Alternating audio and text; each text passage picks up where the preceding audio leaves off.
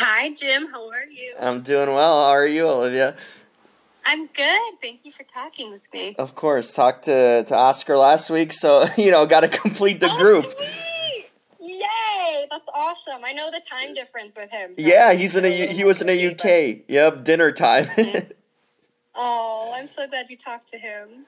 Oh yeah. Uh, I, the show aired here so last week, so now we can talk about it. Uh, one episode down. I personally I saw the screener for it too, but I really enjoyed it. I was like so blown away by all the twists and turns in one pilot. How you could make.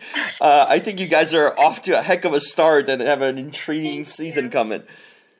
Thank you so much. That makes me so happy to hear. Oh yeah, no, uh, I was super thrilled uh, with how the show started out, and you know, even when I was putting the review together, thing about your character, like I, I don't know if this was a thing. Like, did you? did you know from the start that they would kind of make it known that this is Joker's daughter, uh, offspring in a sense, or would it be a secret sort of thing? I think we learned right away that that from the start that she is. Um, did you initially go into it not knowing or knowing that that's going to be kind of the the the? the I, mm-hmm. I sort of knew. Nobody told me.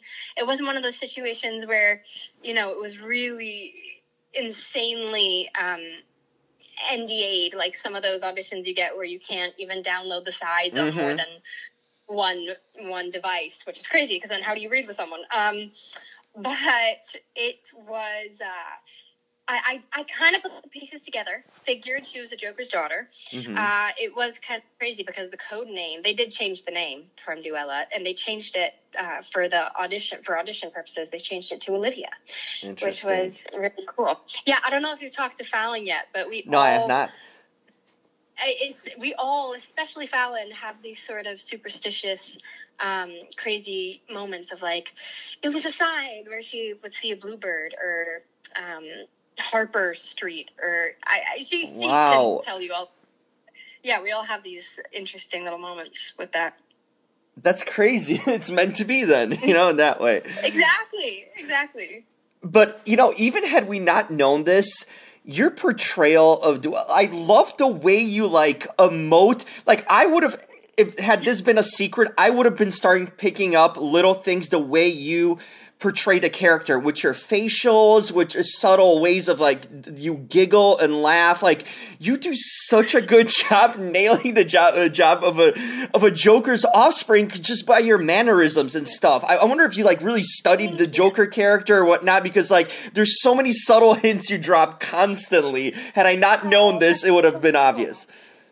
Oh my god, that is so cool to hear. Seriously, thank you. Um, I had so much fun uh, pulling from different, you know, inspiration sources.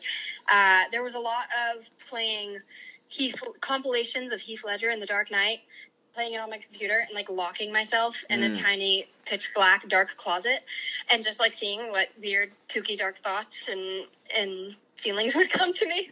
Um, definitely uh, a really interesting, fun process that I found in that. Um, I love Heath Ledger's portrayal. I also love um, Joaquin Phoenix's. So there's just like endless amazing source material to to pull from, and then you have that versus Duela as her own individual human, and the way her mom plays into how she is. You have endless endless material to to pull from. So it's, it's been great. Yeah, and I I noticed you in, in, other roles that you've done, and it's like you look drastically different with kind of the reddish auburn hair versus like the blonde. It's like yeah. if you were with the blonde hair, this character would be a lot different. I feel like too. Uh huh. Uh huh. Uh huh. Thank you. That's so cool. Yeah. No. No, no doubt about it. You really make it come alive. Um, Thank what, you, and it helps so much. Like just trans, obviously helps with the um, the transformation, just getting yourself in character too. Yeah, and I feel like it's a multi-layered character because she's kind of like an anti-hero in a lot of ways. Like you don't know if to root for her, but she's kind of like I don't know if I trust her fully too. You know, I, I feel like you shouldn't. Yeah, and so it's like, are you interested to see how this character kind of evolves over the season? Because it's like you know, after the first episode, kind of leaves you like unsettled watching her, not knowing what to expect from her. Good. Good. I'm so. I'm, I'm, sorry you were unsettled, but I'm also so glad. uh, she is. I I love her so much, and honestly, since we stopped filming, like and during these interviews and stuff, I'm realizing how much I miss her. Mm. Um, and also miss the whole experience of filming. But I just love Duela so much. I love what happens and what they wrote through the whole season. I'm genuinely, genuinely so excited um, for for you to see how it plays out if you keep watching. Um, yeah, Duela's this. Um, she's like this pot of emotional intensity that's just bubbling over at all times. I know it doesn't seem like she feels a lot, but she feels a lot, and it just comes out in these really strange ways, and it's very liberating too because she's so impulsive. So mm-hmm. I'm forced to let myself follow all those weird, wild impulses that I have. Uh, so it's been extremely freeing and cathartic in ways that I didn't really know I needed. Um, but yeah, there's so much to pull from. She's so fascinating to me because you have this endless plethora of you know trauma with her family and her parents of course you know ab- not only absent father but serial killer father we right know, yeah with, with her mother but it's we can go ahead and conclude conclude that it's not a great situation um, and so you have Duela idolizing her father for the chaos that he shook into the screwed up system while also hating his guts for abandoning her. So you have all this shit going on that affects her psyche, but she doesn't let it um, make her a victim of her circumstances. Like she's such a fighter through the whole thing. Um, so it's just, I, she's so, I just I love her. mm-hmm. No, I can tell. I mean, you seem definitely passionate about her, and you definitely bring the work to to her. You definitely did a lot of research and, thing to to make her really come alive, which is really appreciated. Uh, as we kind of wrap up here, I wanted to know. I'm curious about you. Like, what do you like to do uh, outside of acting? Any hobbies, interests that you kind of like to do uh, when you're not performing?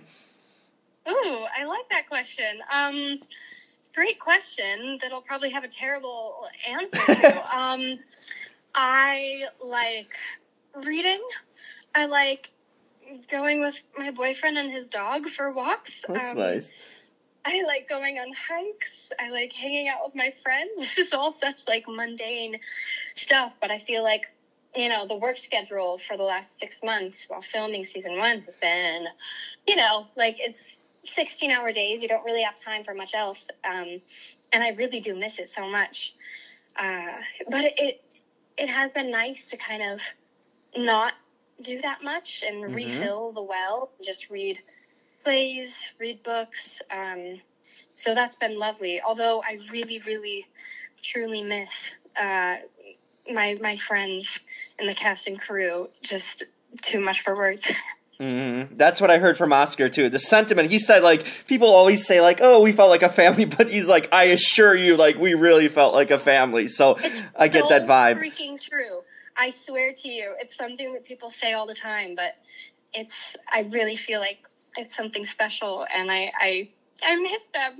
I miss them so much. And Oscar's on the other side of the world, but luckily, Navia and Fallon are are closer. So yeah, it, it's I can't assure you that what Oscar said is true enough. Um, yeah.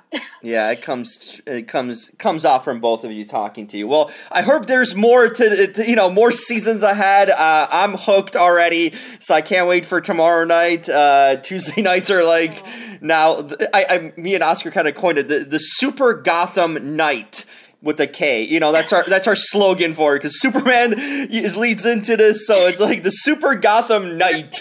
Uh, Super Gotham Knight. I love that. Yeah, with a K instead of an N. You know. Yes, you should totally coin that. I love that. it's a great night for, for superheroes on the CW. So uh, I'm looking forward to, to more of it. Uh, Olivia, you're doing a fantastic job. Uh, I just wanted to tell you that uh, if you haven't heard it a thousand times. And I'm glad you're a full fledged human being outside of it too, with appreciating the normal things in life. That I'm not just purely Duela all the time. right. As much as I miss her. For the best, yeah. Oh, thank, thank, you for taking so, the time. So Thank you. It was so great chatting with you. Yeah, let's let's connect again, uh, and hopefully maybe down yeah.